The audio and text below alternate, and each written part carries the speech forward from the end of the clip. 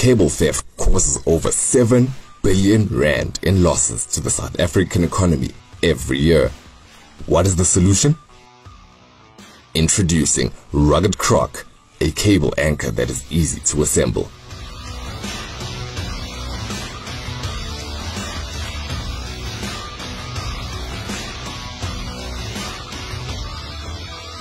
Once the rugged croc is assembled on the cable at 1 meter intervals, the cable is buried in a 500 millimeter deep trench. The rugged croc is specially designed to secure the cable and prevent it from moving in its underground position. But don't take our word for it. To demonstrate how effective the rugged croc is, we've conducted a test. On the left, we've buried a cable with a rugged croc installed, and on the right, a cable without.